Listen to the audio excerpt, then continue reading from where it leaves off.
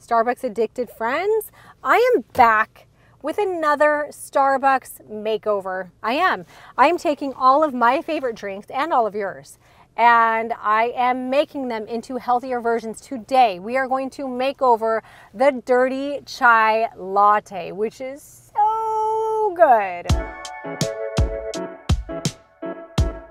Okay, so I just went through Starbucks and I first ordered a drink that I used to drink all the dang time. Only I used to not get espresso in it because I did not know the power of caffeine. But I would order this venti chai latte, iced chai latte, and I loved it. Like loved it, loved it until I figured out the venti chai latte had 350 calories. And then I'm like, okay, I cannot do this. I did not know. I thought a drink was a drink and it was zero calories. I learned my lesson.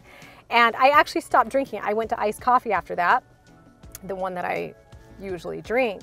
And just recently, I'm like, why can't I go back to the drink that I used to love, add in the coffee kick, and figure out a way to make it healthier? So, first, this is a drink that I would order if I was not trying to be healthier. This is a venti iced chai latte, Vanna White hands right there, with, I did two shots of espresso. So there are two shots in here, so I get the caffeine kick.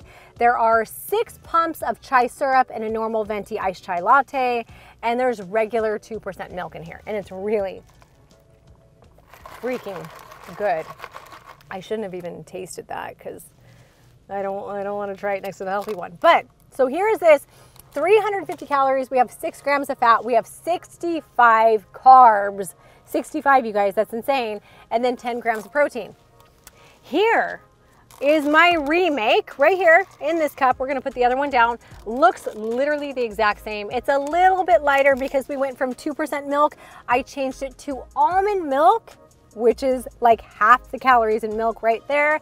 And then I took the pumps of chai syrup and I cut them in half. So here's how I ordered. Can I please get a venti iced chai latte with almond milk and three pumps of chai syrup add two shots of espresso. I took a drink that was 350 calories and I made it 165 calories, ladies and gentlemen. This is actually the first time I'm trying it. This is literally a thing I just decided to come up with and I wanted to shoot it for YouTube because you guys need to know. Hold on. Oh my gosh. It is really good. You know what I would probably add to the top next time? Is a little bit of cinnamon powder just for a little kick of cinnamon. But this is heaven in a cup, 165 calories versus 350. You can just call me the Starbucks queen. I don't mind. Comment below. Tell me what other drinks you want me to make over, guys. I love you. I will keep doing this until the day I do not have a YouTube channel anymore. Mwah! Bye.